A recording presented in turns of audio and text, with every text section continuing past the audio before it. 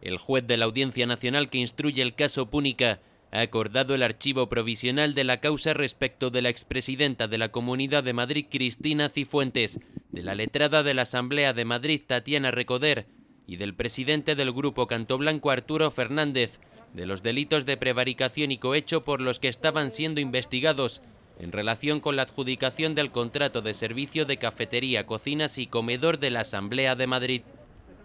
El juez considera además que no se ha acreditado que Cifuentes participara en la presunta financiación ilegal del Partido Popular de la Comunidad de Madrid. En este sentido explica en su auto que esta investigación se ha basado en un informe policial en el que se informaba de las presuntas irregularidades cometidas en el contrato de cafeterías, cocinas y comedor en la Asamblea de Madrid.